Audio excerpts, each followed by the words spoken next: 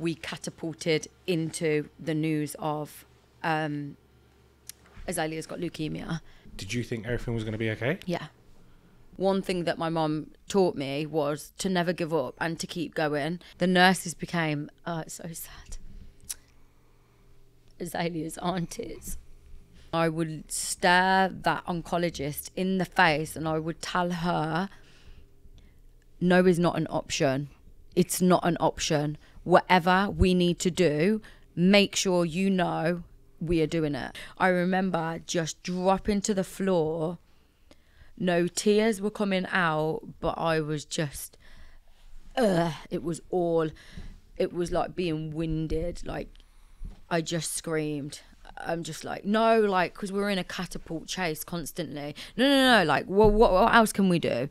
It was like you've just come in and like absolutely winded us. I just remember like just shouting. In the morning when I woke up, I looked at her and I thought, today she's gonna she's gonna pass away today, and she did that morning. But she waited until like my brother got there, and that was the the moment where holding your daughter in your arms and having no response makes me is the worst thing, the worst footsteps that you could ever ever take in your life. What's going on, guys? This video is sponsored by Louis. Some of you know him on Insta as Loads, one of the best Instagram names. Let me tell you that, guys. Louis has been building online businesses for the last five to ten years, and he has spent the last five years coaching others one to one on how to start businesses. Louis's got over two thousand profitable testimonials, and guys, let me be honest with you. I wouldn't let someone sponsor the show who I didn't vouch for. So trust me, it's legit. Literally, just go send him a DM on Instagram. It's at Loads. All you got to do is say to him, "I come from." From the Blue Tick Show, help me make some money. And I know most of these people out there scams, and there's plenty of people out there offering you millions and millions of pounds and stuff like that. Louis is one of the 1% who actually do it properly, legitly. You don't need nothing. All you literally need is a phone and Wi Fi. Send him a message and leave the rest to him. Guys, and if you want to know why I'm sitting here pushing it so much, it's because realistically, Doing a nine to five ain't gonna get you nowhere. And I know most people sit here and say this because they're getting some sort of commission for it and stuff like that, but I really ain't. I'm telling you, as a good person, the host of the show, doing a nine to five ain't gonna get you nowhere. So go message Louis, say you come from the Blue Tick Show, just ask Louis for the business model, let him do the explaining, and let him explain to you how he can help you. I'll see you soon.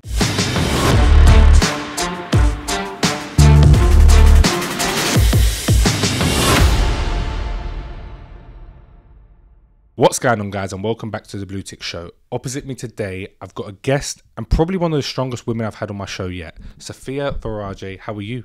Hello, thank you so much for having me, Mikey. Well, listen, welcome to the show. Firstly, it's been a long time coming. I finally got you here.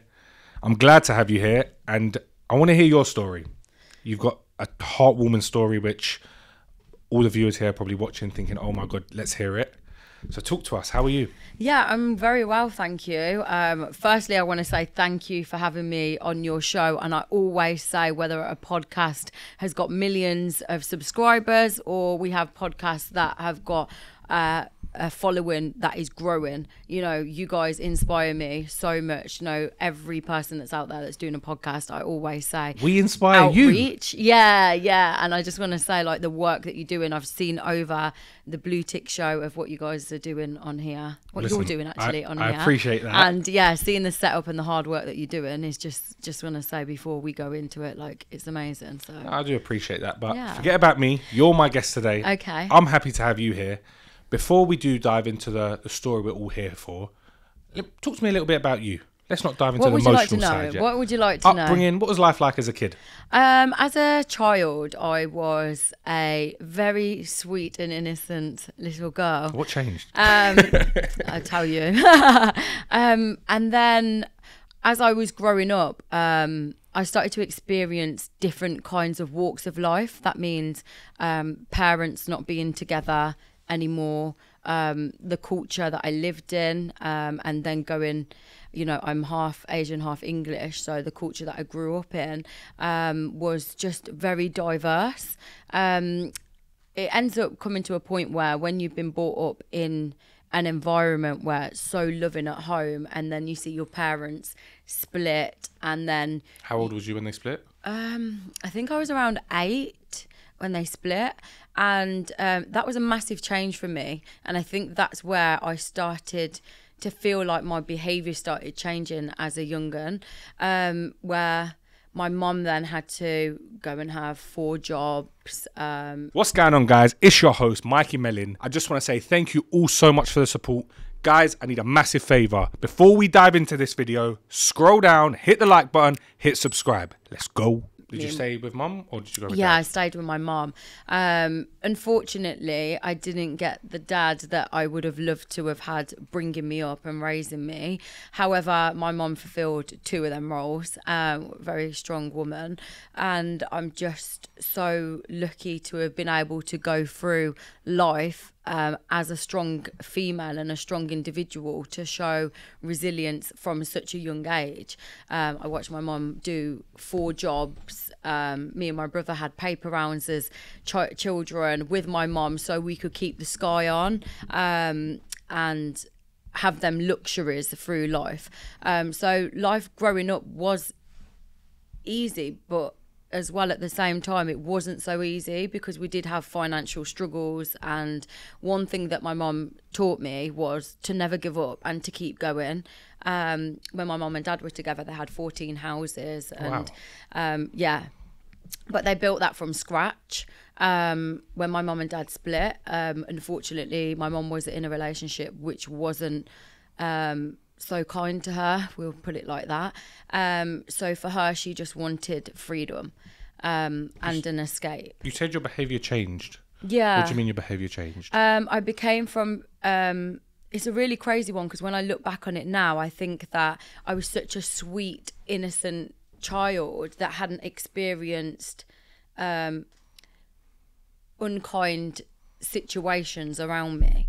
Then I started to experience unkind situations, you know, domestic violence and things like that um, around me, which ended up maybe making me change as an individual, where I started becoming guarded or reserved in situations or very outspoken um, through school. and as you got older throughout school, was did that behaviour continue or did you my my behavior actually got worse um and i think it's down to um i think a lot of people can resonate with this as well because from being such a sweet child to then going in catapulted into an environment where it's mom's working four jobs to make sure that she provides for her children um, to then start kind of having that time to roam around and do what i want and when i was in school um, I used to find practical really, really good. Like that's the only thing I could So- engage with. Yeah, when it come to pen to paper, I, I would be doodling my name and writing. They had E ESPO at the back of the books, right? Yeah. In school, yeah, I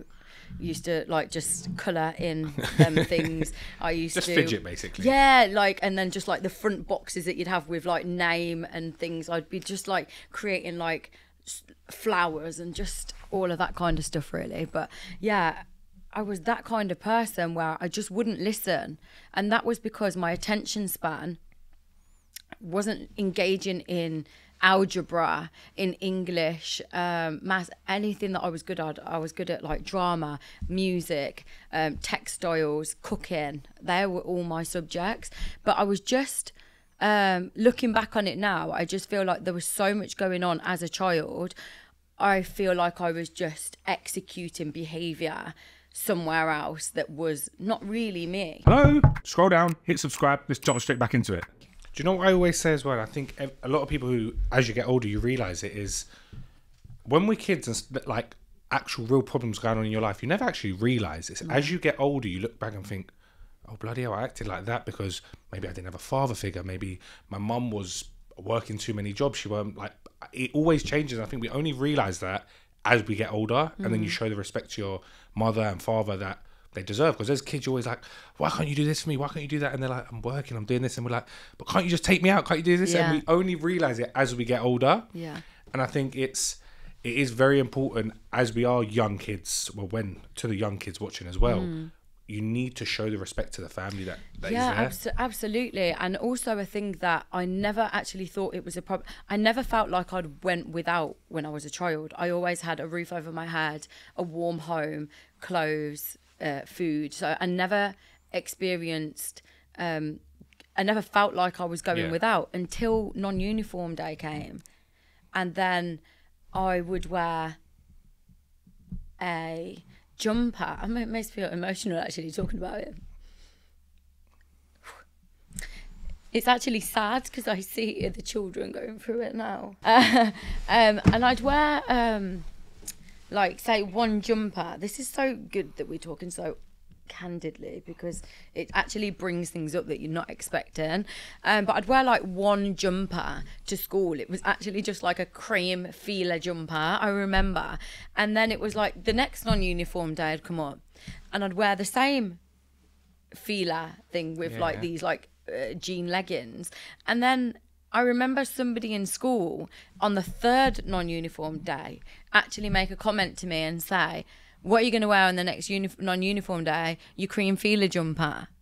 And it's like that actually like made me feel like at that particular point did i then start experiencing the unkindness of like oh am i recognizing a, uh, are we poor? Like have we not got it? Like and i didn't actually realize that i was that i just actually thought to you, you probably love that Fila jumper as well. I did, I did. You know when you just don't get item of out of a jumper? literally. Like that was my jumper, and because it had a name on it that was Fila, I actually thought, oh my god, like that's my designer, designer. jumper, and like so innocent as a child. And I think walking through different steps of life, and even having um, uh, suffer uh, suffering um, my dad as well. Um, you know, promising to come and see me as a child, and then leaving me um, waiting for him at the window. You know, that was something that I experienced of always waiting for my dad to show up.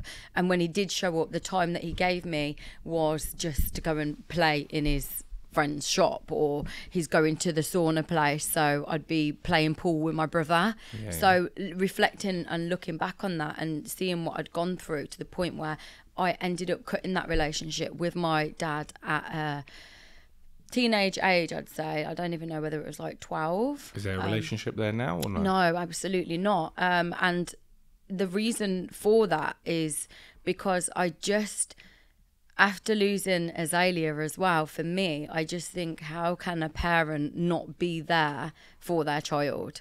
Um, so Before the fact we do jump into the Yeah. Azaylia thing, I do want to ask: Did your dad reach out during that time? Um, I think he reached out to my brother. I can't even remember, um, but I did experience not so long ago actually that he came to Azaylia's garden when I was there, um, which I didn't expect. So, yeah, maybe there's some. Do you think he regrets what he done and he just don't want to show the face to you? I think as a grown man, especially at his age now, um, he's had many years to reflect on the behaviours that he's he on his behaviour that he's done basically. And I think if you can't outreach and directly go to um, your child uh, after what they've gone through, for me that speaks volumes. And I I get that. I get that. And it's but I know at the same time that anxiety must be there from his side as well. But because we've gone through so much, um, and through therapy, I'm now realizing that sometimes we're not all programmed the same. This video is sponsored by Cranbrook Law, an award winning immigration law firm. Their talented solicitors can help when any struggles arise regarding immigration law. They can help get you the visas they need, they can help get you the staff you need from any other countries. As you can see, the website is on the screen right now. So if you need anything to do with immigration law, message Cranbrook Law and let them help you. Whether you're looking to obtain a sponsor license, receive advice and guidance in relation to compliance and our civil penalties, or take advantage of our know how and experience across a broad range of business visas, our talented and dynamic immigration lawyers are available to speak to you. Telephone numbers on the screen, emails on the screen, and hit the link in the bio if you need any help. I've realised that myself, definitely. Um, 100%. massively. As much as we expect someone to act a certain way in a situation, they don't actually see no bad in it. No. They're like, oh, but that's normal. I'm not meant to be doing that. And Yeah. in our heads or your head, the way we're brought up and things are different, we expect a certain reaction. And when we get, don't get that, sometimes we're let down or we're angered. But sometimes they're genuinely in a completely different mind space. Yeah. They could be expecting something completely different. But moving on to the Azaylia situation, if we call it uh, the Azaylia Azaylia's journey. Let's Azaylia's, call it Azaylia's journey, journey. because it was a journey, and it was as much as it was her journey. It was, I think, the whole of the UK's journey as well, and and the world. Everyone Yeah. was part of that, and it was amazing to see. Mm. Everyone really stuck by it and rode that journey with you lot, Mm. and I respect everyone who done it. Absolutely. What was that like? Um, I think maybe let's start at the point of obviously me and Ashley being together. Um, it was something that we'd planned. We planned Azaylia. Azaylia was very much wanted. How long was you and Ashley together for before you obviously had Azaylia? Oh my god, you're literally sticking it on my toes. And you know, like as a female, do you know you're, You're, meant, to know, that. these That's meant to be. You're meant to know that. A few years. How did you meet? a you couple meet? of years. How did you meet? Um, so we actually are from the same area. Okay. Um, so we have had, we had a friendship for like ten years prior. Oh, bloody. So we've known each other. Do you know when you're in the same Yeah, yeah. area and you're all like Mutual friends, up? know each yeah. Um, so like yeah, we've just we've known each other for years and years, and then we just had the same mutual friends, which we ended up merging together. And then Ashley wasn't um, somebody that I would even think, oh, I could see myself being with you. There wasn't a desire Yeah. for me to be like, oh my god, I want to be with Ashley because we'd already been friends. He was like um, somebody that I already knew. You always think as well, you're not going to be with somebody that you already know because there'd have been something that had happened before.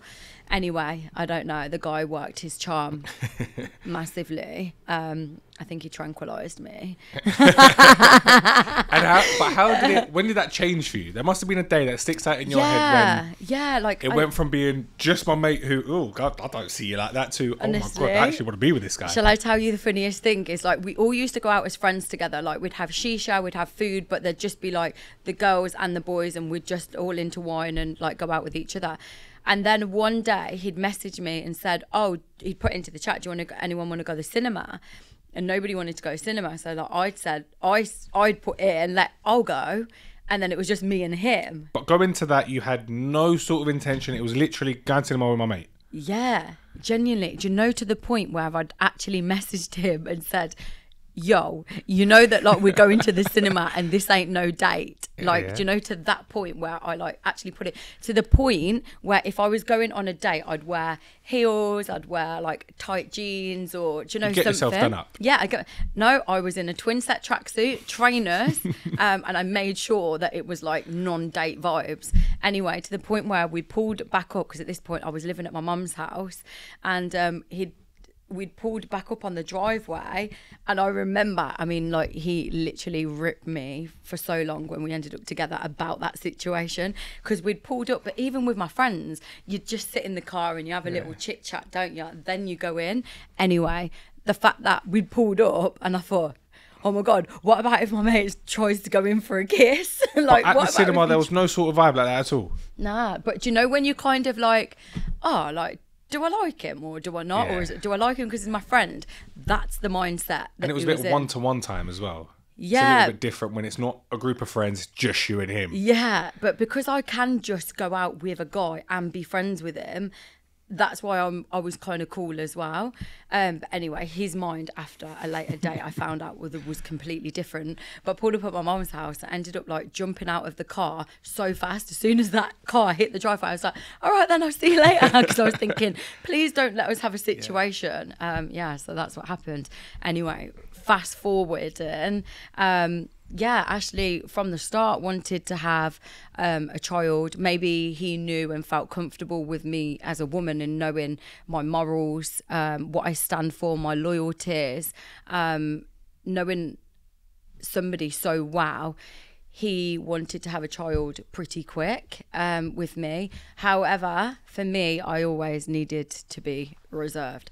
At the age of 30, I still hadn't had a child. So that was just growing up, you know, growing up. Yeah. My dad wasn't there for me. I wanted to give my son, daughter, the best possible father that I didn't have. And I know so many people go out there and try and give their child what they didn't have themselves. Listen, if it was to the point where me and Ashley weren't going to be together, I always knew that Azaylia um, was going to have. Um, a great father, great family. So these are the things that I was looking for in that process. And obviously, everybody knows Ashley, even myself included, as a wild guy. Um, so like I was not oblivious. Um, so I knew what I was walking into, and the same way the shoe on the other foot actually, because he, he, it's not like he was meeting me in my angelic days. Yeah, yeah, fair enough. I was wild too. Um, so yeah, it was kind of like merging our personalities together. But I think sometimes when two people of the same background kind of thing get together, Yeah. it changes them as people. Yeah, massively yeah. because they know they don't, they haven't got to be wild, or if they want to be wild, they can be wild with that person. Yeah, absolutely. We did have so many like wild, wild, like a few years actually, um, to the point where actually, do you know what? I do see that you don't want to go out um, drinking. Like obviously he was DJing everywhere as well and doing PAs. Um, I can see you don't want that and you don't want this. And then it was like my head was clicking then, thinking, okay, like maybe I can see some. But we communicated so well. Like, Did he become your best friend? he was my best friend from the start, and that's what. Makes a um, that's what made the difference. I'd never actually been in a relationship with anyone that was kind of. He was like my best friend, and then it was even weird to the point where we ended up moving in together. Actually, looking at each other like, "What the hell is this? Like, how are we actually just living together?" Because we'd be like drinking on the weekends together, having a laugh. Like it would be. It was so casual to the point where it was like, I know that you are going to love our child so much. And that's that means everything at the end of the Absolutely. day. Even if you and him split up, knowing the fact that he's going to look after your kid, boy, girl, whatever it turns out to be, means more than anything. Mm-hmm. Absolutely. The relationship's second priority. The kids come first. Yeah. So moving on from there, you and him tried for the kid. Yep. Tried for Azaylia. Sorry. Yes. Had Azaylia. Yes. What happened? Um, when I had Azaylia, um, let me say something. If the females out there, even the guys that are watching this, childbirth, oh my god, that was something. I was literally, can I swear on here? Yeah, say what you I was want. literally shitting myself. Um, Can I swear? Shitting. um so yeah i was like really just worried i was thinking oh my god like i'm literally at this point as well i was like a size six to eight so i was literally a little dot and i was thinking like this baby like how is it going to come out? Like what the hell? Anyway to the point where i was in labor for like for forever uh, to the point where I had to have an emergency C-section, but my body went into like anaphylactic shock, um, to the point where I had to have an emergency C-section, to the point where Ashley got removed as well, and they was going to have to sedate me so I could um, give birth to Azaylia through C-section. I didn't want to rob Ashley of that moment of welcoming his child into the world, his firstborn into the world, and experiencing that. I didn't want to rob him of that. Anyway, I was literally I felt like I was I was screaming at the nurses and the doctors and I was just like, "Get Ashley now." He could hear me down the corridor. The guy told me afterwards he was so embarrassed. I was like, "Get Ashley now." Anyway, um I had to promise them. I could, I felt my hand go up. When your hand goes up, I know that they're just about to push me with sedation. Yeah. And I swear to God, I whacked whoever was in front of me. I was like, "Get Ashley now!" And I thought, actually, this girl Yeah, is. let's get Ashley quick. Let's get Ashley. Anyway, um, they can't bring you in as a parent when you're under sedation um, with a family member. It's just by law, I think it is that you can't do that. Yeah, can't do it when you're sedated. He could do anything to me. um, but yeah, so yeah, Azaylia was then welcomed into the world. Um, Ashley cut um, the umbilical cord. Even at that point, uh, bearing in mind I was cut open at this point, got like a big blue sheet in front of me, and then I'm still shouting. I'm like, "Go and cut the umbilical cord!" and then like the two double doors were closed, and I was like, "I want to see." so then they've got the two doors open, and I'm like, do you know, like in my head, I'm so mentally like know what's going on. I'm still going through this, feeling like a washing machine, like literally, like feeling like a full washing machine going on in my stomach and communicating. I don't know how I did it, but then like obviously that was our first experience. Um, obviously it was COVID, it was lockdown, um, so. Ashley had to go. I was with Azaylia in the hospital then by myself, um, just bonding, doing them first motherly things, which was like incredible. Like I was drinking up like every moment, every second of it, um, to the point where I wanted to get Azaylia dressed in an outfit so we could leave hospital. being cut out. They're telling you like don't get up, and I'm thinking I need to get up.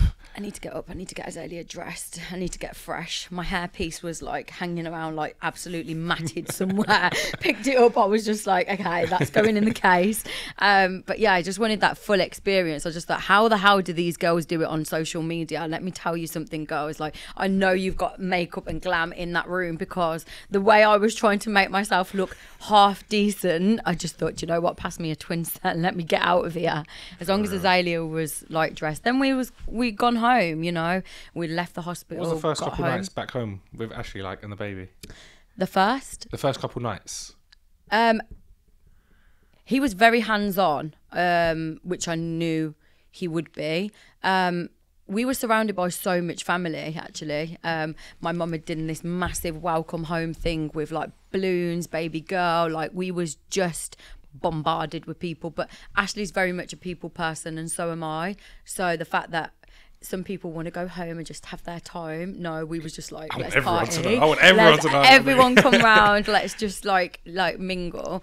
Um, yeah, and it was just amazing. Like the fact that Azaylia was now here. This is something that we both like were so excited to have. Both of our families got on so well, and everyone was just so excited and over the moon to to experience and be a part of it as well. It must have been amazing for you being both your first baby as well. And that was like the family must have been going crazy. Yeah. You lot must have been going crazy. That must I been was wrapped in so much love um, from my family and from Ashley's family. And Ashley's mom, um, I mean, like, was amazing as a grandma. Like, I can't rate her enough. Um, she was there that's 24 what makes it so 7. much easier as well. Yeah, my mum was there for me um, 24/7 my aunt absolutely everybody all the family we was absolutely wrapped so tightly in in love and warmth we couldn't have asked for anything more Has Ashley got brothers and sisters? um, yeah, and um, I don't know how many. Um, how many is it? It's um, actually we've got um, got Nikki here with me. She's Ryan, Matty, and he's four. And is actually one of the, the baby? Only reason I'm asking was when his No, ba- he's not. He's not. But but no, he's actually so like um, they're they're um, half brothers and sisters. So he's got one full sister. So he's the eldest out of him and his sister. Only reason I'm asking that dragged on asking. Bloody hell! Okay, I've yeah. asked the wrong question. haven't I? Open up a can of worms. No, only reason I'm asking was when the other siblings had babies. Yeah. When Ashley has a baby, was he like the favorite kid who's had the baby? And it's like, oh my gosh, Ashley's... No, no, wasn't? No, um, Because I'm just saying, Mum, I'm the favourite, so when I have a kid, you know, make sure. I've got Nikki sat here with me. oh, is he? Yeah. I've got Nikki sat with me. So sh- Nikki's Nikki's actually here, guys, with me, and she's uh, married to Ashley's brother. So I'm being very careful in what I'm So saying. Ashley was the favourite, yeah. one child before, but everybody was Okay, fair enough. If you look, in London, they're in the Midlands. so if you lot all heard that, then Ashley was the favourite. no, but I think it's it's them memories probably stick in your head forever. They're the best times ever. Home with all that, and the thing is, when family's there, it changes everything. When mm-hmm. everyone is there celebrating a newborn baby, it's like amazing. I remember mm-hmm. my sister; she had a she's got three girls now. Every single time she has another kid, all the family are back round there. You're like, Yeah. oh my god, this is the best thing ever. I'd say, yeah, I'd probably say, yeah, Ashley is the favourite child. I just like needed a second there. However, when it comes to, I'm just thinking like Nikki's got Carmelo, and it's not the fact that it was the favourite grandchild. No, he's, not the, the he's the favourite child. You have got to be careful what you say, yeah. Yes. I'm like double thinking this before it goes out and I start getting absolutely uh, great. And then, how long after having Azaylia did the news, or did Yeah. what, what happened? How did you find out what happened? So um, checkups are always due for babies. Um, everything went well. The midwife came round, checked everything, um, to the point where I was then on my six week checkup um, with Azaylia, but she had cold type symptoms, um, bunged up. We'd gone to the doctor numerous times, thrush on her tongue. Yeah, it's completely normal. Give her these drops, um, constipation, um, give her laxatives. To the point then it was the milk. So we were trying all of these different things, and then it was just like, geez, like, is this how hard it is to have like a baby and like they need all of these things? But obviously, being a new mom, um, I don't know. So I was just thinking, okay, these things can happen. Um, and then on the six week checkup, we gone. I'd gone in to the doctors with Azaylia because it was locked down again, so obviously Ashley couldn't come, um, or just like it'd been lifted basically, but you, there's still restrictions in place. Um, to the point where the GP um, had got Azaylia laid down, was doing all the checks, sent me home, everything's fine, she's just a new baby, blah blah blah. Anyway, the amount of times you change a baby's nappy is like a hundred times in a day, and I've got like OCD. So as soon as that line was coming up in a nappy, it was changed. Um, so all day she'd been changed. Next minute in the evening, I'd opened up Azaylia's nappy, and um, bearing in mind she's got the cold type symptoms, she got the constipation, all of this going on. Um, I then seen a bruise um, on their on her hip bone, and I thought, oh, but we had this tendency to always do this. And because everybody always wanted to hold her, she needed Yeah. bouncing. That was the only thing that was soothing her, which obviously makes sense down the line. Um, so I just thought, oh, maybe somebody's held her and they've been bouncing her for too long, just probably not moved their finger. Maybe something like that happened.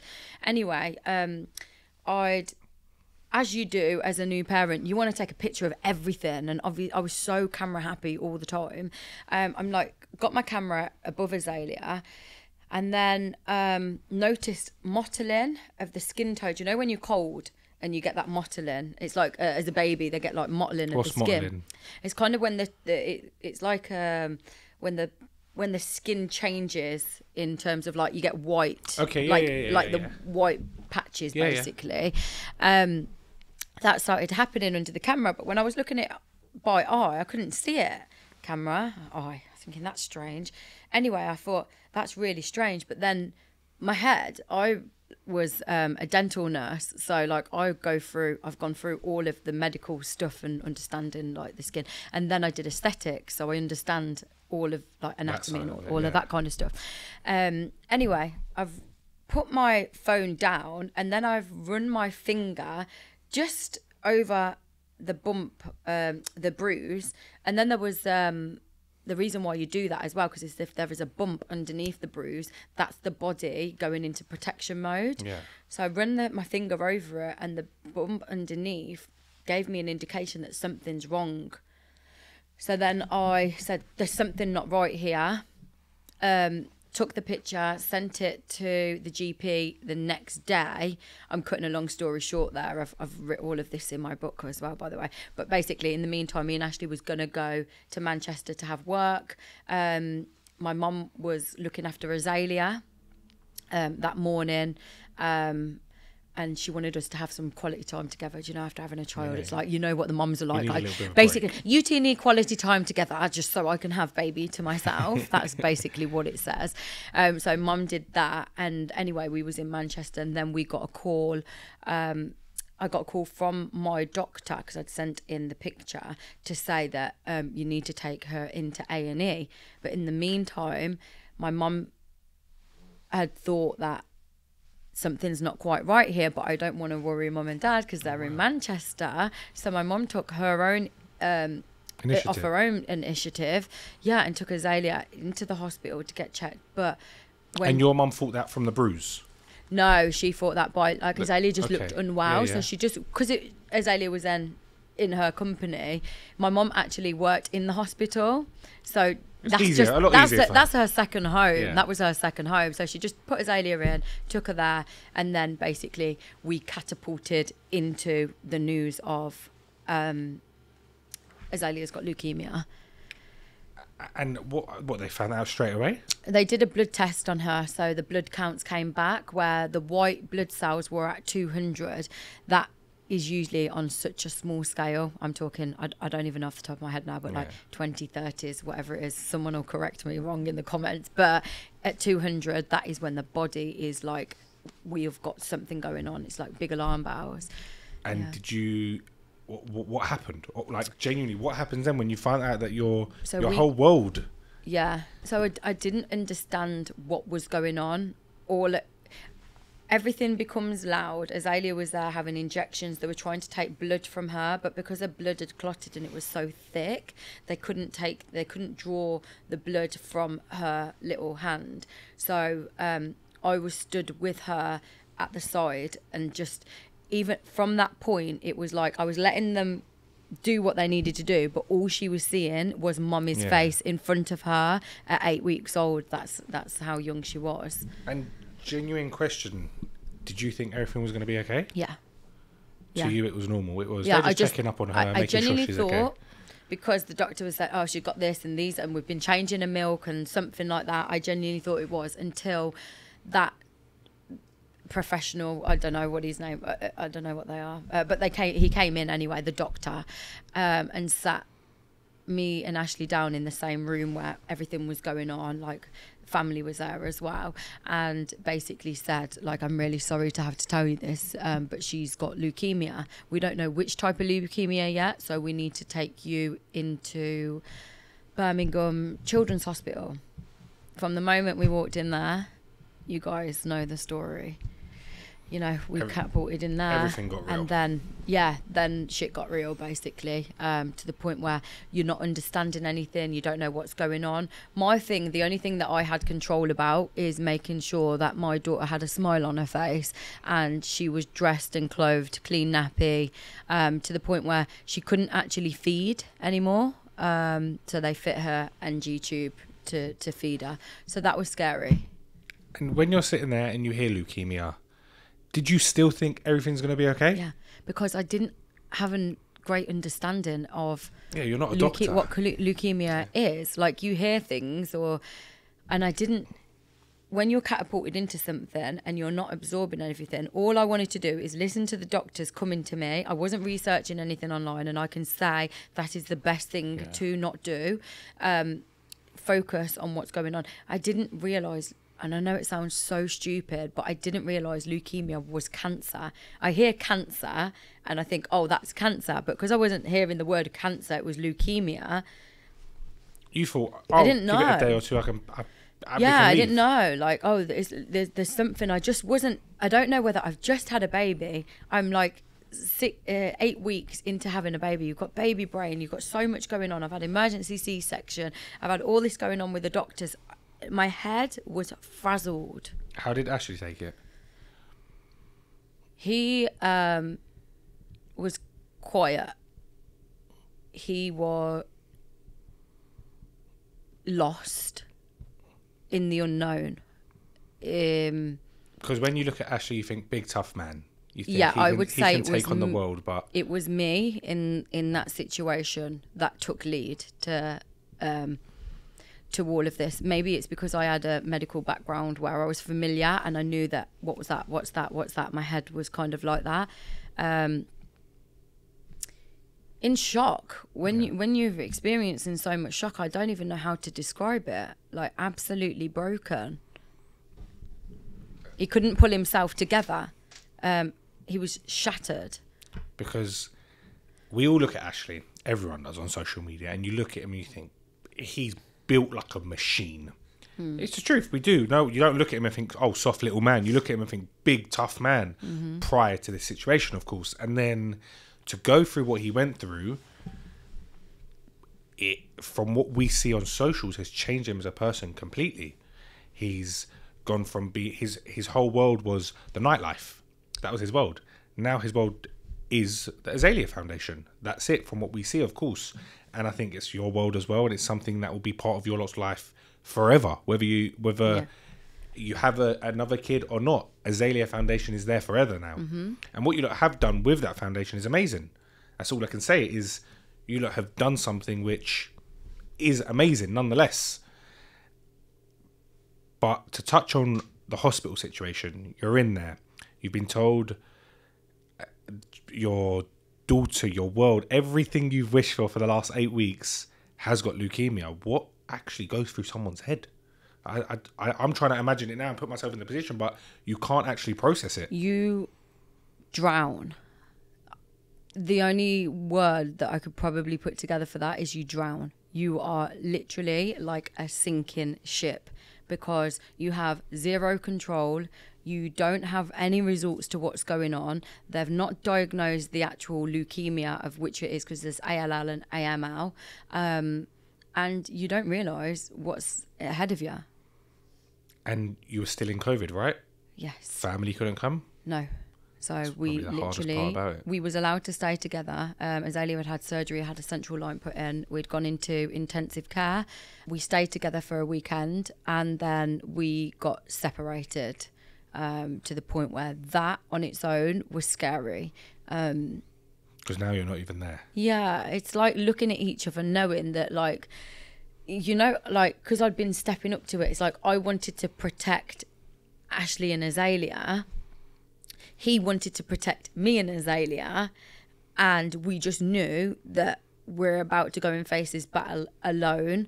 But we know that we need to stand in line with each other. We're doing it as a team, uh, no matter if we're split. Like, it's fucking game on. And Like, the thing is, you went, you went from having no control to having no no control, literally. Yeah. Because when you are there, as much as you're not doctors, you, you can't do anything, but Mm. you're there in your head. You're still there. You're still part of her life. You're she can see you. You can see her. That's enough. Yeah.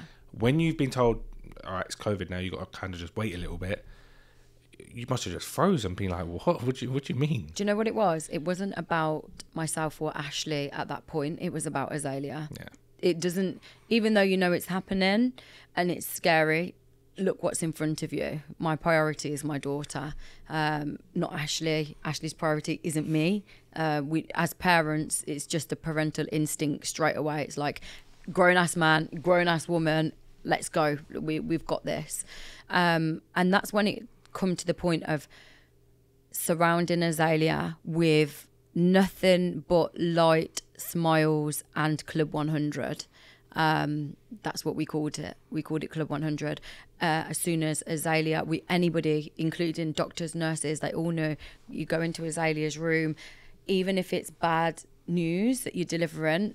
Take me and Ashley out of that room. That's Club 100. That's where we sing, we dance, we play. We have like surrounding Azaylia with um, Positive energy. positive energy always. and to do that yourselves because what you lot are going through is the hardest part of it all obviously azaylia sat there not knowing what's going on Absolutely. she isn't she's a, a baby she's in the doctor's hands you lot are taking on all of azaylia's pain and each other's pain as well and going through it together and to sit there and still bring a smile on your face jump up and down to make her smile and laugh that's probably harder than anything but you lot must have been in a bubble at this point We was. We was in a massive bubble. And one thing that I always will always show gratitude for is um, the people, the nurses, the doctors, uh, the staff, the parents on the ward, the children on the ward.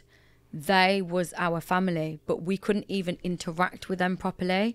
We had to open our doors and talk to each other over the side of the, the cubicles. Um, the nurses became our family. The nurses became, uh, it's so sad. Azaylia's aunties.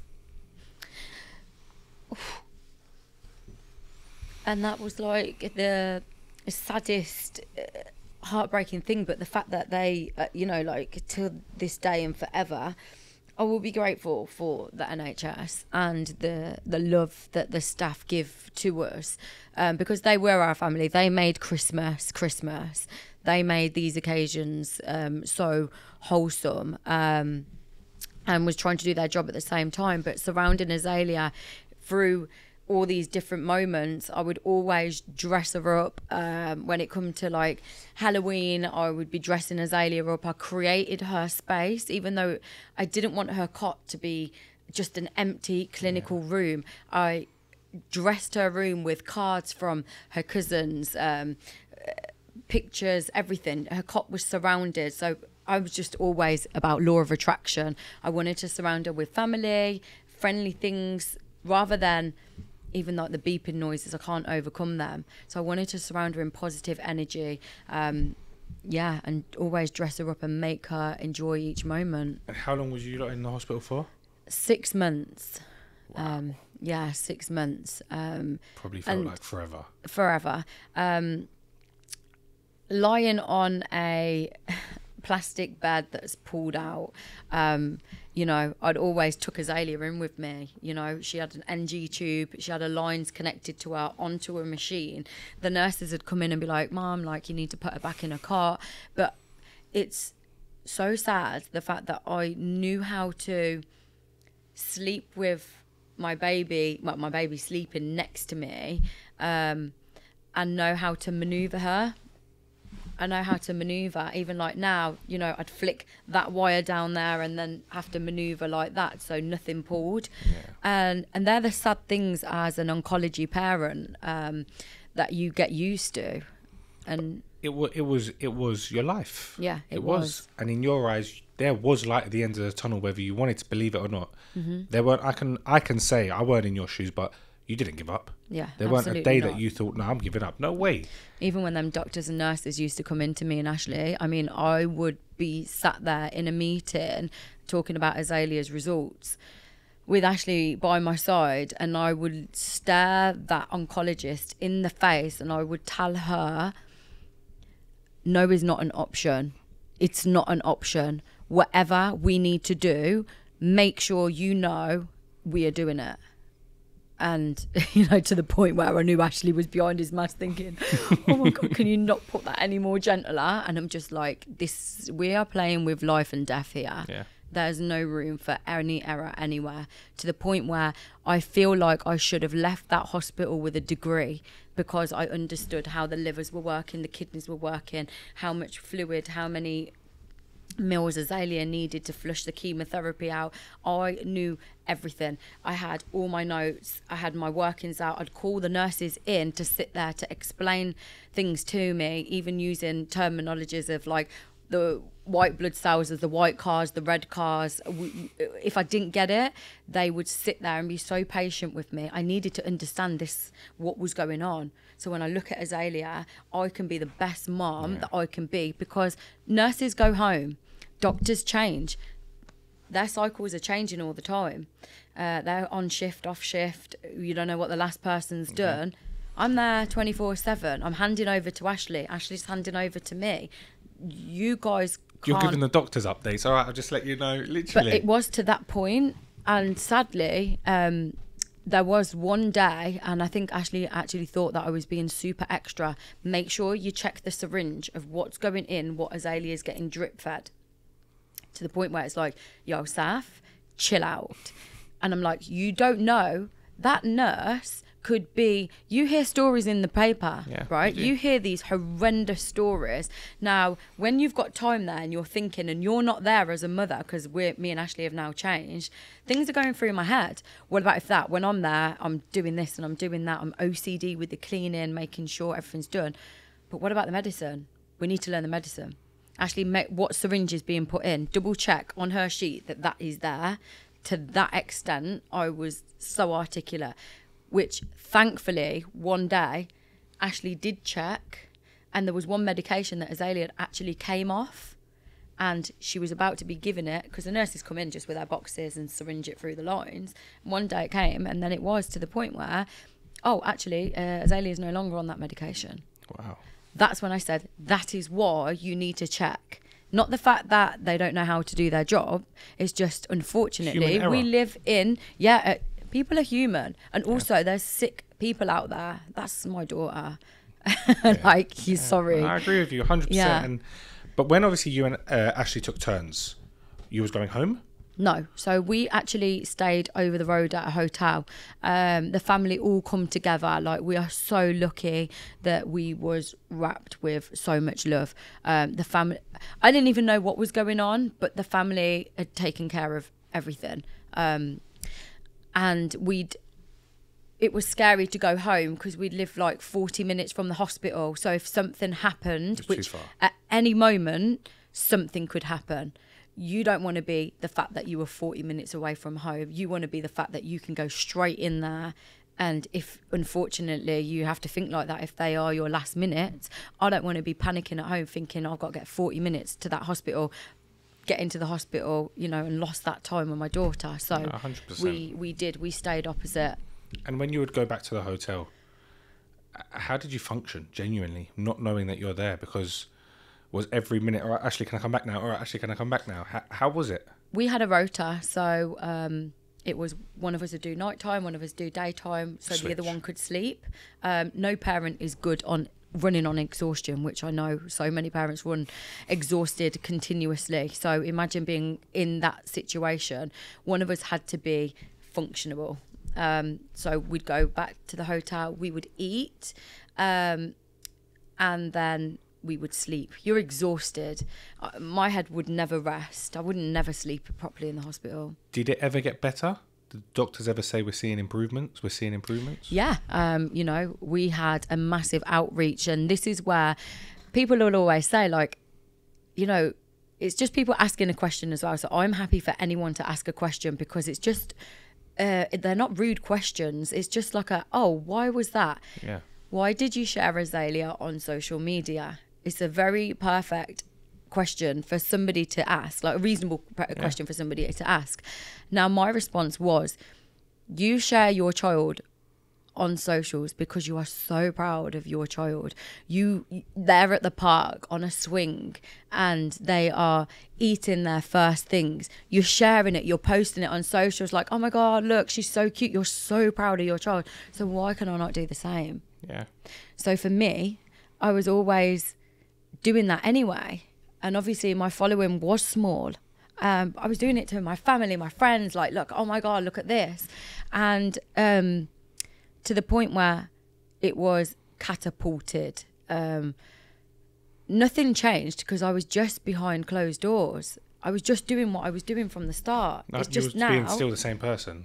It's just now I had more following, um, and that didn't change anything. I was I was genuinely just being the same as I was from day one to to to to who, who I am now, and that was received like the kindness, the support that the public gave to me, and I speak just from me at this point because I was by myself with my phone, that I could sit there when I was lying in bed and it would distract me. People were telling me, like, Azaylia's so beautiful, she's got this. Um, sometimes I'd be struggling as a new mom. I didn't know, like, Azalea was teething. Like, what's the best thing to give her? All I'm thinking is medical stuff and people will be sending teething rings they'll be sending things to put like uh, frozen things into for her so i'm so grateful like genuinely the nation pulled together and really wrapped me so tight as a mother to help me be a mother to my child Because everybody was involved in that. everybody Literally, I remember it. My sister, like we said off camera, she bought the orange bracelet. Oh my god, yes. I, I got that when you told me that when I came in. I was just where have I actually put it? Maybe it's around here somewhere. But yeah, when you told me that Every, she had a everyone was bracelet. involved. Yeah. Everybody. And I think Where is it? to once see the UK, the nation, come together for a positive thing. Yeah. As much as it's not positive, they stuck together as a team forever. Mm. And everyone was involved. The, the There was a GoFundMe page, right? yes. and everybody like there was no oh let's not it was everybody was involved and it was for once it was like oh all right we're sticking together we're doing something good There's a community. And this is where it comes to when Azaylia needed a donor. yeah Um, and this is when, for me, humanity, you've seen the love in humanity. And in one weekend, Azaylia got over 80,000 people on the donor register. Now, that is a record. Um, and the fact that the community and the nation come together to do that swab, it's just a simple swab in the inside of the mouth that you take, put it in an envelope, and you send it back. That could save somebody's life yeah um, and the fact that you know that's you know at that point was just like a oh my god we needed we was desperate for a donor. When when we got in over 80,000 um, people sign up. For me I just thought wow like oh my god like who are all of these people in my head? I'm thinking wow like that is when it started recognizing to me that my followers are having an impact on this journey and I'm so grateful to these followers for the impact that they're having because it's my daughter. Because in your eyes, it's you, Ashley, and your baby. That's yeah, it. and I it. didn't I didn't I didn't feel you know, me, Ashley, and my daughter and the family around us. The next minute we catapulted into not only did we feel tightly loved by our family and our close friends, we also then just had the nation raptors. I felt like we was a walking army together. I felt like there is nothing like cancer. Fuck you. Uh, we're coming for you Hundred percent. And you lot, as a as a family, you smashed it. yeah. You did. yeah. Uh, of course, we can all sit here to saying, I don't know how to put it in the words, but the result wasn't what we wanted. I don't know how. no to, we did well we did get the donor. We got the donor match um through the work of the nation. We got a donor match. Azaylia got a hundred percent match. That was our next cycle. So what happens is when you get the match then your body gets cleared in, with chemotherapy. The donor then gets injected through the central line or with uh, cells and then the body then has to start working itself so the new cells go into the body it's like a new head gasket yeah. um, being put on. But what happened is Azaylia's body, the memory of her body, was too powerful for the donor that came in. It rejected. She engrafted at 100% first. That's why we went to ring the bell. You know, we was excited. We was going to ring the bell. 30 minutes before we went to ring the bell that day, we got told after having blood tests taken that Azalea had relapsed. Then Cat, we went to go home and not ring that bell that day, and I felt like me and Ashley felt like Azaylia's come this far, and she did engraft. She actually did engraft. So if it was five days earlier, she would have been ringing the bell. It's just the fact of timing and whatever. So we made it so she could ring that bell. That oh, so sad. That was her moment, and when you're laying in your hospital room and you hear that bell being rang, your only wish is for your daughter or your child to ring that bell. And I needed to hear that bell being rang for her. And she fought so hard. Like, how are we taking that? ring away from her she did it she did get to 100% donor she did graft um you know she come through them extensive chemotherapy treatments that could have taken her life. She did it. She fought it. So we rang the bell because she deserved to ring that bell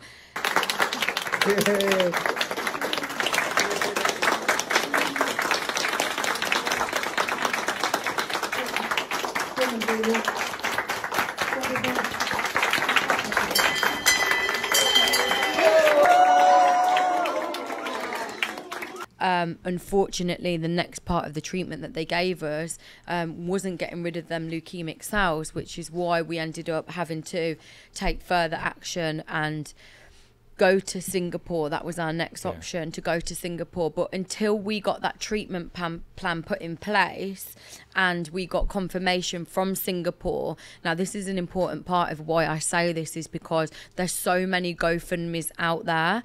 Um, that do things just in case. Our case wasn't a just in case. It was we need to go to Singapore. Like next week, we're ordering passports. Um, Azaylia's passport. Obviously, she's so young; she Yeah. ain't got a passport. Um, emergency passports were being ordered, and it's like next week we need to go there. Um, so we put the GoFundMe out there at that point because we needed to go. It Within yeah, within three hours, um, Azaylia had raised over a million pounds in three hours.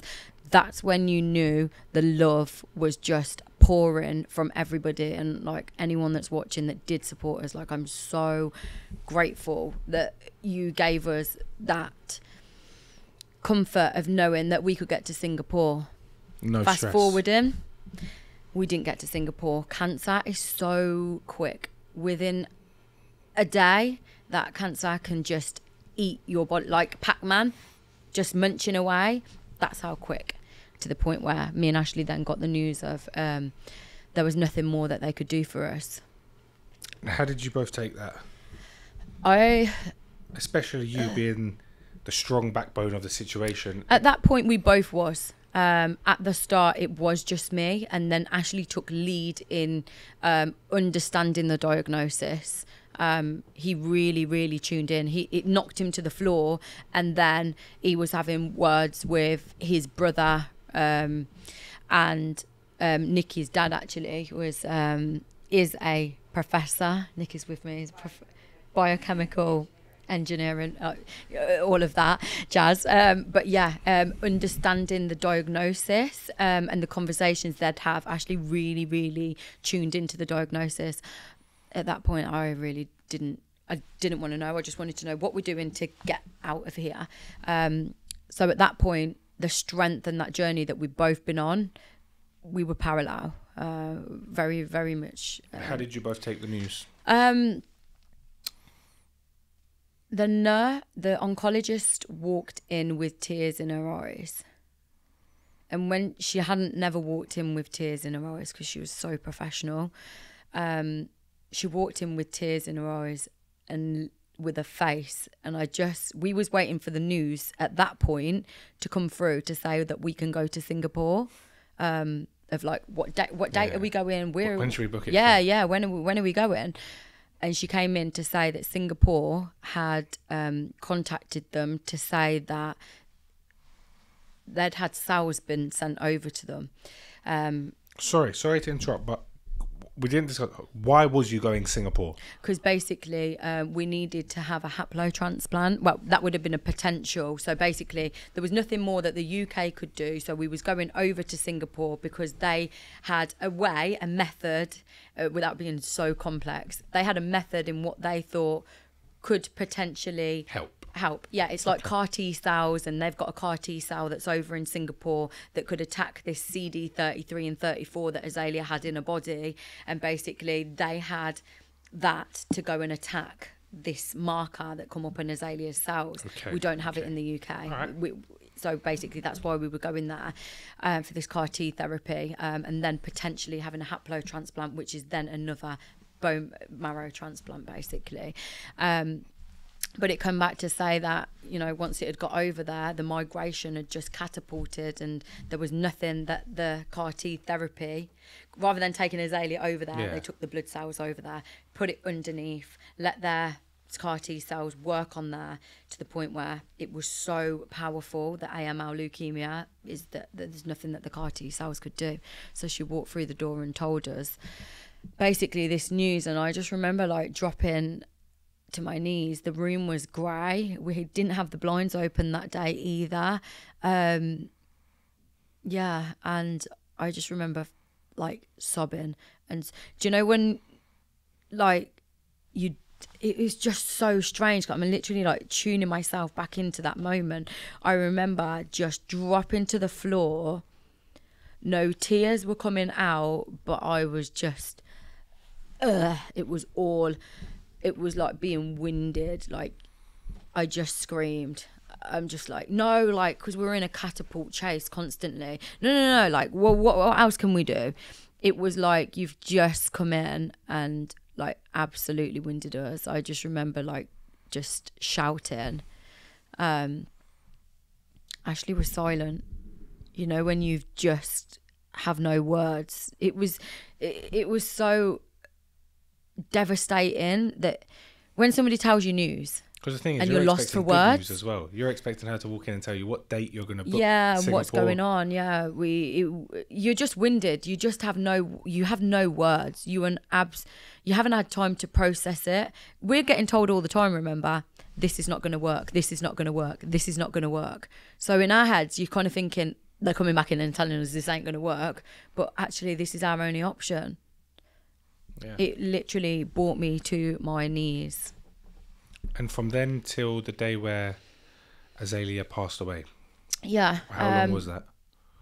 we got told it could have been that night so family got called and they was allowed to come into the hospital um azaylia was so resilient so strong um you know it was a couple of weeks um when we got sent home probably a week when we got home a week i think it was i can't remember the dates i've not actually looked into that but probably say about a week so we got told it could be her last day um, and she powered through. Um, we took her home, but even at this point, um, I then had to ask the questions of how, how is she going to pass away? Like, what do I have to expect? I had um, people coming into my home, palliative care, and I literally felt like it was death walking through the door at me. Like, I wanted to tell them to get out of my house. Like, you were not meant to be here. To the point where um, at home, it was still the same. You know, we would smile, we would dance with her, we would do everything. At this point, I was having castings made to get her hands and feet done. I was having her fingerprints taken. Um, I had her heartbeat taken. I had everything that I could think of taken. So when she was in heaven, The hardest part of it is the unknown. As in, it's so bad to even talk about. But when is our princess, our angel, gonna gonna pass away? Wings, yeah. Um, I got told at that point that she could potentially bleed to death. Um, so hearing them words, it basically started happening when she was crying. And there was blood coming out in her tears. Um, that was really, really painful. And then I knew something's going to happen. Something's happening. But as me and Ashley always were, we knew what was going on. It meant that there was she needed platelets. She needed a transfusion. She was always on a blood transfusion or a platelet transfusion. Um, she needs platelets. She needs something to clot the blood. Bam. In the car, we got the gas oxygen canister in the back with Ashley for if she needed oxygen. This was just our norm carrying an oxygen tank in the back of the car, going to hospital. They sent us home on end of life. We were back in that hospital demanding that Azaylia has platelets. They give her a bag of platelets, the blood would stop crying. I couldn't see my daughter. If there's something that I can do, I'm going to do it. Give me the 100%. platelets. We did everything until um, the morning when I woke up. Um, the night before it was really crazy because Ashley would be sleeping downstairs on the settee. He used to get scared to go to sleep in the night, um, and he'd sleep downstairs. I don't know whether because he felt like it was a, he could be alert and he's there, Yeah. he's ready for like the medicines. Azaylia was on like four times a day of medicines, so I don't know whether he thought, okay, Saf's upstairs sleeping. This one night he decided to come to bed, um, so it was all three of us laying in the bed. Um, and I was thinking there can be miracles when you believe to Azaylia. And that was because I always sang it to her. Do you know, like, because I just thought, keep believing, keep believing, keep believing. Even from a kid, keep believing, keep believing. Um, just keep having belief, keep going, keep going. Even at this point, I just thought, there's miracles. So I kept singing it to her because I thought, okay, if you're going to go to heaven, we need to still keep believing because we're going to spend an infinity together, um, eternity together. Then Ashley had come in from the ensuite, come and got into bed. In the morning when I woke up, I looked at her and I thought, "T- today she's gonna she's gonna pass away today. I never ever said that on any part of my journey. Wow. Um, and she did that morning, but she waited until like my brother got there, like, um, and it was like she waited because she knew that the people that were in the room were like it's like she knew that I needed to wait. You know, like you know, where's Dan? Do you know? It's like she she heard like she was she's always so aware, and yeah, and then it was I'd always put the monitor on her to check her heart, to check her pulse. They would tell you you don't need to do that, but I needed to check how fast her heart rate was going. Then I seen it go from it was catapulting sometimes at like 180. You know when you go to the gym Yeah, of what your heart rate's like. Hers at resting point was 180 sometimes. That's how bad the leukemia was attacking the body to the point where I'm now looking at it, it's on 54, 50. To the point where I couldn't even pick up the tape. And then I'm thinking, is it happening? Is this what's happening? And then we just effed off the machine and it was just like, we just knew. That's when the phone calls had come in, like to come to the house. And then, yeah, she passed away um, with us there in mine and Ashley's arms. yeah, and then that was the the moment where holding your daughter in your arms and having no response makes me is the worst thing, the worst footsteps that you could ever ever take in your life. Um, there's nothing else that can ever shake me now. But at that point, you think you're going through hell when that's happening.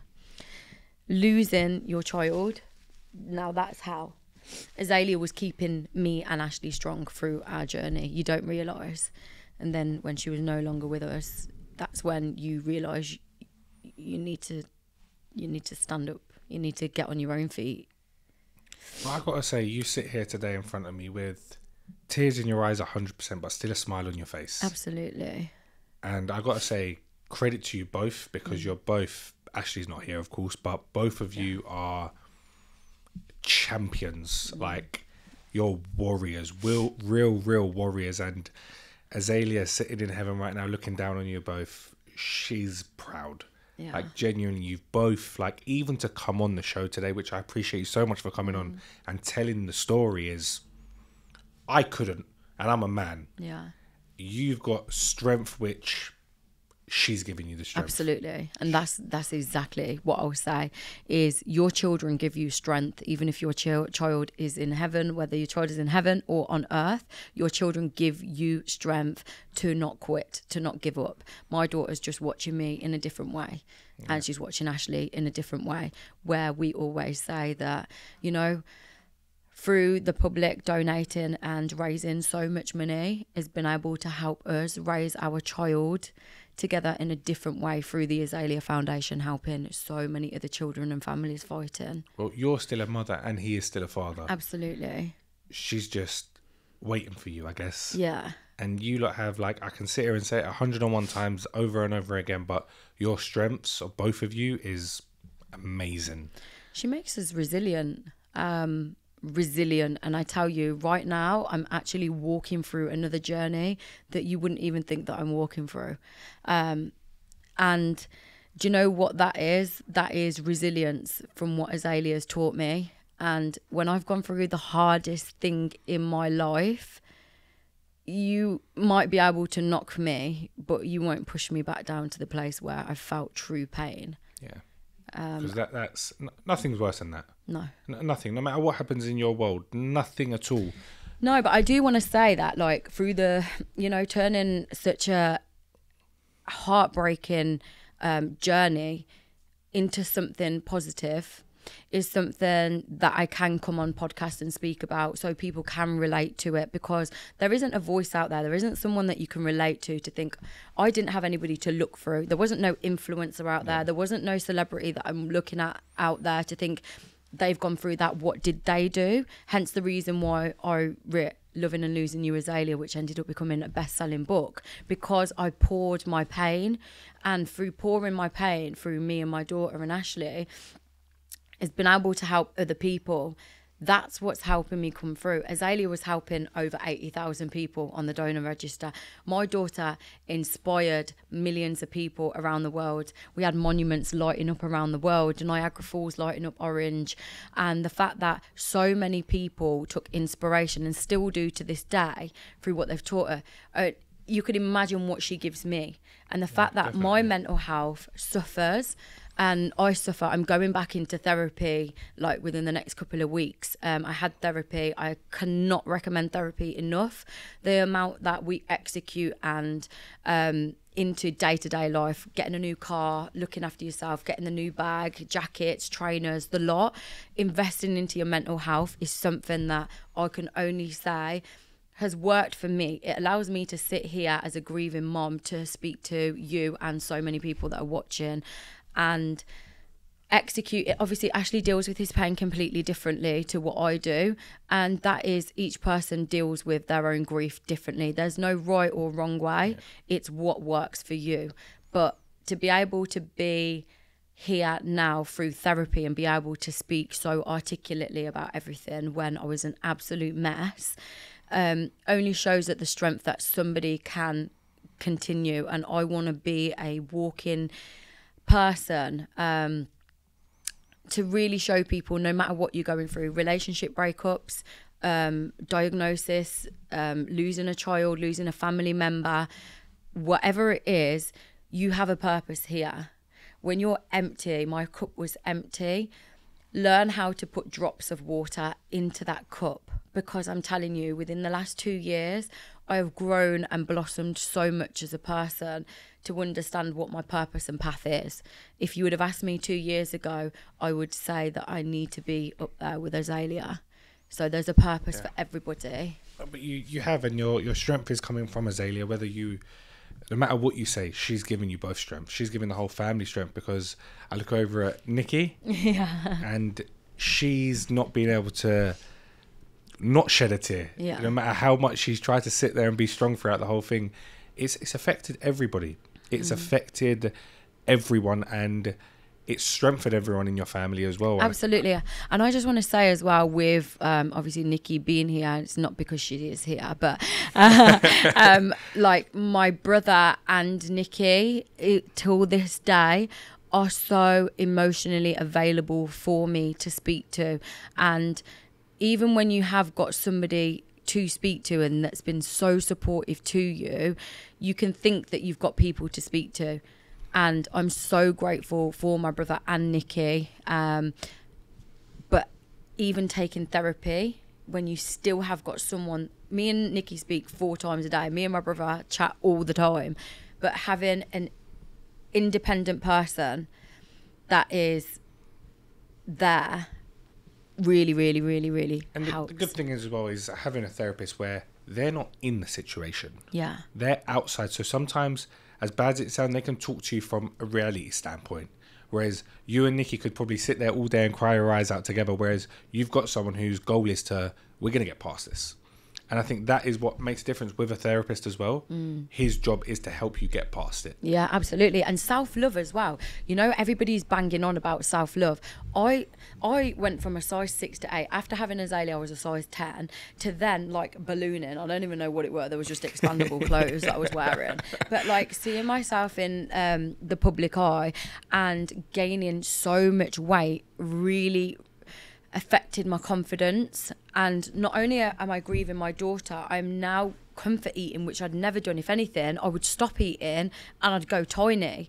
This point of like comfort eating and not recognizing yourself. I wouldn't recognize myself on TV. I wouldn't recognize myself in a picture. Like, where have I gone? It's about self love comes from within. Yeah. And the amount that I have been working on myself so much. And like listen i make mistakes now i'm human but working on myself internally first is the first act of kindness that you can give to yourself. Don't worry about the outside. Worry about what's coming out of your mouth and the person that you want to become. And then the rest will follow. The hair will follow. The the, the white teeth the jackets the shoes the do you know that for me i used to be like led from even being a kid, you know, like I need to have the new shoes, the new clothes, the that to be validated. The validation in society now comes from what you've got, your followers, how you appear, and I think it's shallow. And, I it is think shit. it is. Um, it is really, really shallow. But it's having that message, and that's why I feel like my voice is powerful because you've seen my journey, you've seen my appearance, you've seen the fluctuation in weight, you've seen the mental battle that I've had to go through. And yeah, I do sit here now with makeup done, hair done, because it makes me feel confident. But my confidence is from within. That's where it starts. And uh, like you said, just to touch on social media now has ruined everything in my Yeah. eyes. It has everyone is trying to be someone. No one. eh, eh, fo- If you ain't got X amount of followers, or you haven't got a blue tick. I'm saying it. Well, my show's called the Blue Tick Show. Uh, uh, well, well, you haven't, uh, bearing in mind, I do interview non-blue ticks. Yeah, it started off as a great disclaimer, idea. disclaimer right It, there. it did start off as a great idea. to call the Blue Tick Show, but I interview more of my guests are not blue ticked. Yeah. But it's if you haven't got it, you're no one now. Like it genuinely, if you're not verified on Instagram, haven't got a K next to your followers. Sorry, you got an M. If you haven't, if you haven't a K next, you're no one. Though, Miss know- Safiyya, if you don't already follow me. um, listen, I think everyone on here does, right? Um, but no, listen, truthfully, one thing I love about you is you still sit here with a smile on your face. And that beats everything. Yeah. Because you're not sitting here. Listen, you're allowed to cry. We're human. We're allowed to cry. I say that to all my guests. We're allowed to. Everyone thinks it's bad to cry, and you've got to let your emotions out sometimes. Absolutely. We get taught to, uh, like, being strong is by holding back your tears. Being strong is actually shedding your tears and, like, really showing emotion because it allows the next piece person to feel emotion. And because we're in a society now where we do talk about mental well being, people are feeling more comfortable. But don't get sucked into social media of thinking you need to be somebody that you're not. When people ask me, what is the best thing that you would say about having a platform, is the fact that I can really showcase my heart and my soul and my true identity of who I am as a person. and and you've done it right. I've gone through your Insta before you come on the show. I had a little stalk, and you're not an average influencer. You're not just the girl who goes on there and I don't actually know what my title is. You know when people ask me, like, can you introduce yourself? I'm like, ah. this is my name. I'm not sure what you want to know. But no, genuinely. And last thing I want to touch on is what does the future hold for you? Because there's your story's your story, but you're still yourself, and you will create your own story as well. Yeah. As much as Azaylia is your story right now, and she will forever have a part of your heart or your whole heart. You're your own person as well, and you you've got a story to tell. As much as today is that journey, yeah. I'm sure we could probably sit here and talk about your life before all of that for an hour as well. Exactly. But what is your future now? Um, my future has been something that I've been really working on so gently, I'd say, not putting too much pressure on it. And I feel like I'm evolving now as the woman that sits here now.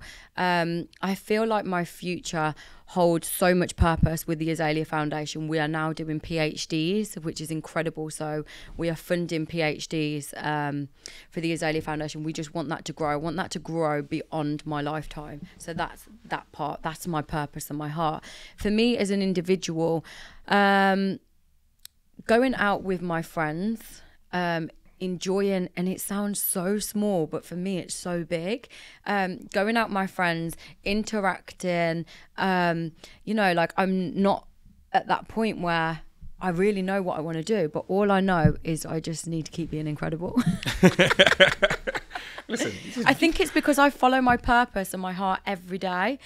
I don't know what it is that I take each day. If I if you would have asked me before my journey, how do you see your future? I'd be able to tell you. Now I live each day for what it is. And Yeah. I genuinely live. If I wake up with anxiety, like I did the other morning, I was on the phone to Nikki, and the next minute I was showered, hair done, and everything. She's like, How the hell do you do it? There's so many obstacles, but I want to make a change. I want to make a change in society. So, my real thing is, I want to make a change in society and help people. In what sense of make a change in society? I want people to feel like that they can show up for themselves, and that's what actually helps me. That's how I see my future. Even if I go to seminars and talk about confidence, like I, I really feel like I've got so much to execute in that avenue. For me personally, I would love to have another family. Um, I would love to have that home. Like I've got my house. My house is like people are like, "Oh my god, you should be so proud! Like you've done this by yourself." And and I'm like, "Yeah, but you see the aesthetic. In my house, it's so empty. Like my house should be a it's home. a house, yeah, a house. My a house home. is a home. My house is aesthetic. Um, it's not. I want to get to that point where I can create a home and not just have a house. For me, a family is everything. I want to be able to to to go on that journey and do that. But listen, I've been outside for a minute or two and I've just seen what's outside. Outside and let me tell a you, when I'm talking about outside. outside, like when I'm saying outside, if you don't get that term, outside is when you're out, out. And let me tell you something. That a is a, place that is a playground and a half. Like, let me tell you, my mouth is sealed um, because it's just scary out Outside's there. outside. Outside's I, I am such an old school girl with old school morals, and the fact that when I go out and see the generation now, and like even like dating, like people are on all of these apps and stuff. I used to like just meet people. Now you you're looking at the hair, or I don't like that, or I don't like that, or do you do that, or how tall are you, or how is this, or Yeah, it's, a, it's a madness outside. I it lie. is It's- it's a fun insane. So maybe, maybe, maybe I might just be on my own in in the uh, in the house. Absolutely. Are you worried about having another another baby? I am. Um, I am worried, and I say I'm worried because I was. Where and how does that happen? You go through all of your scans to get told that everything is okay. Um, I'm worried because with Azaylia, um, and going through my journey, I knew what an incredible mom I was and am to her. Um, with another child, I also know I will execute, probably catapult so much love having another child. Um, that is something that I would just love to have.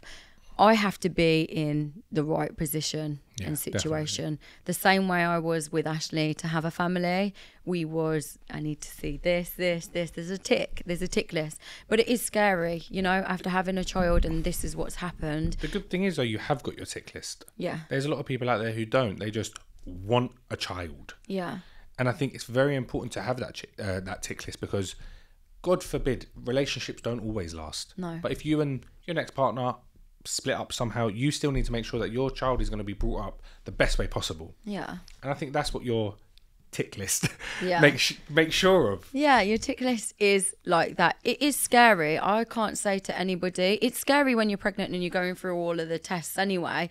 Um, you know, is everything okay or is it this?